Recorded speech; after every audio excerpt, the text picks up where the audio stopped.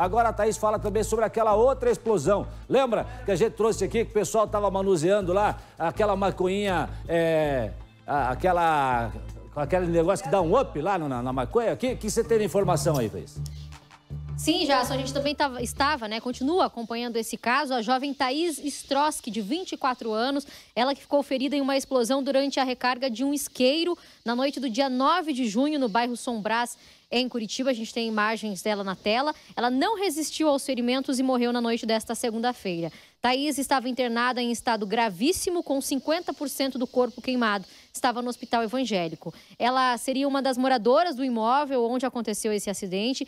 E naquela noite, além da Thaís, outra pessoa ficou ferida também. Os bombeiros constataram o seguinte: que foi uma explosão que teria acontecido durante a recarga de um isqueiro.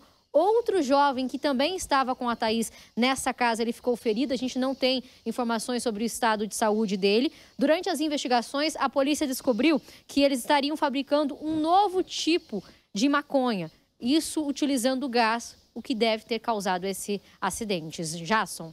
Quer dizer, então nós tivemos duas mortes de explosões aí do final de semana, lamentavelmente, né? A morte do sargento na explosão em Pinhais e a morte dessa jovem, uma, uma jovem bonita, né? Perde a vida aí nessa situação toda aí, é realmente muito lamentável. Olha só que jovem, né, bonita, um futuro todo pela frente. 24 anos, uma moça bonita e que estava, pelo que se, se, investigou posteriormente, né, haviam lá tanto os cilindros de gás butano, butano quanto maconha. Então, acreditando que eles estivessem fazendo essa extração da, da, da, da maconha, né, para fazer aquela super maconha, maconha, é, gás, gás de maconha, né, que eles estão chamando agora, né?